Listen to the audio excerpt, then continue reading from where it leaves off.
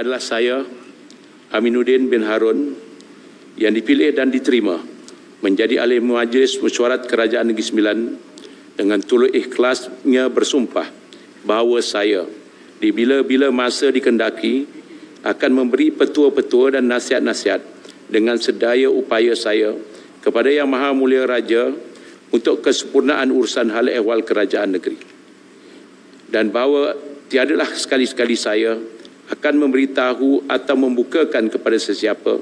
Sama ada yang berterus terang atau bersulit-sulitan. Sebarang perkara yang akan disampaikan untuk pertimbangan saya. Atau yang akan diketahui sebagai ahli majlis mesyuarat kerajaan. Melainkan sebagaimana yang telah yang dikendaki. Untuk menjalankan kewajipan saya sebagai seorang ahli atau sebagaimana yang diperkenankan dengan khasnya oleh Yang Maha Mulia.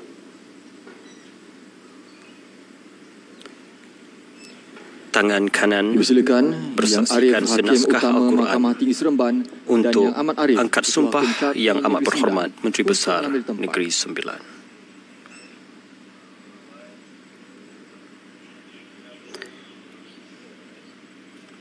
Dan seterusnya menandatangani akuan sumpah oleh Yang Amat Berhormat Menteri Besar Negeri Sembilan melibatkan institusi kehakiman dari Hakim Mahkamah Tinggi dan Hakim Mahkamah Syari'i.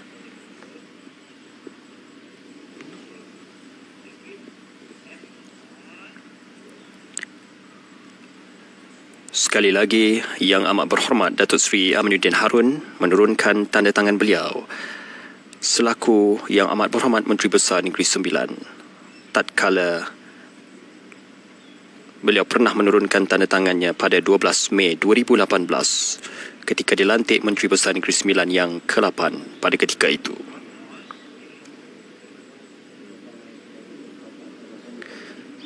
Selesai menandatangani akuan sumpah bagi pelantikan Yang Amat Berhormat Menteri Besar Negeri Sembilan.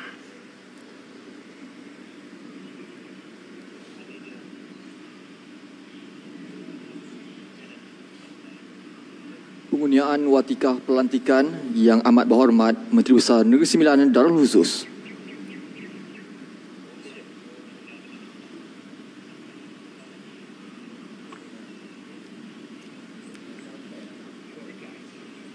Dititah tampil menghadap Yang Amat Berhormat Datuk Seri Haji Aminuddin bin Harun Menteri Besar Negeri Sembilan.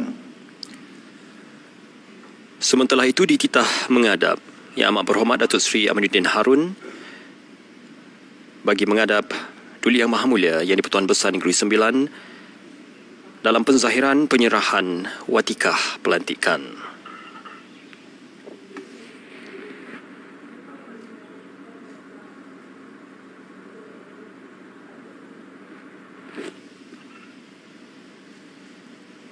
Disusuli dengan sembah ucapan menjunjung kasih.